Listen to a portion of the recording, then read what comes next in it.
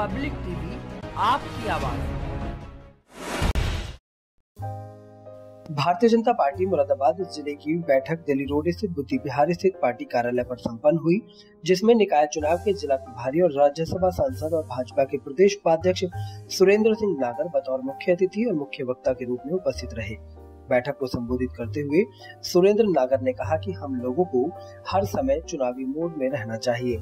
चुनाव के लिए हमें हर समय तैयार रहना है हमारी तैयारी पूरी होगी तो हम हर चुनाव में सफल होंगे। मुरादाबाद में वार्ड गठन से लेकर बूथ समिति पन्ना प्रमुख तक गठन हो चुका है।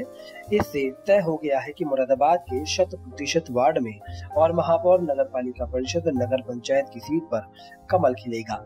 भाजपा जिलाध्यक्ष राजपाल सिंह चौहान ने कहा कि नगर निकाय चुनाव की तैयारी को लेकर आज जिला कमेटी की बैठक आयोजित की गई है। आगामी नगर निकाय चुनाव दमखम से भाजपा लड़ेगी और सभी सीटों को जीतकर जनपद में कमल खिलाएगी।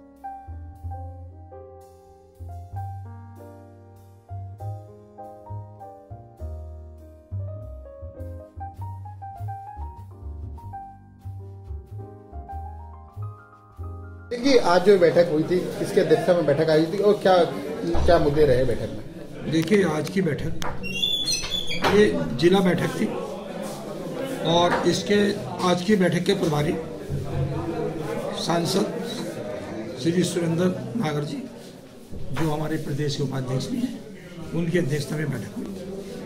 और इस बैठक का एजेंडा था आज का 2022 का नगर निकाय चुनाव।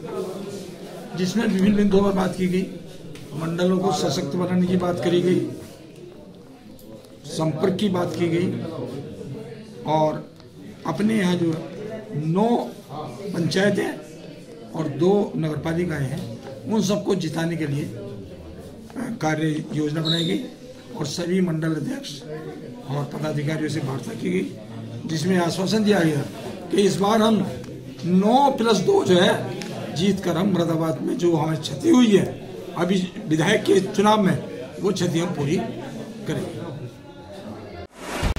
पब्लिक टीवी, आपकी आवाज़।